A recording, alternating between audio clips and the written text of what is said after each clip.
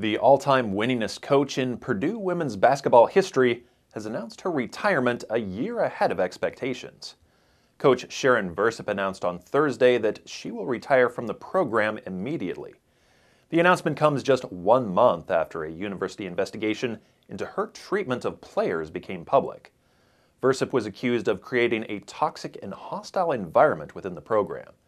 Results of that investigation have not been made public, Katie Gearlds was namedVersyp's successor last March and was scheduled to serve as an assistant coach this season. Geralds will now assume the head coaching position right away.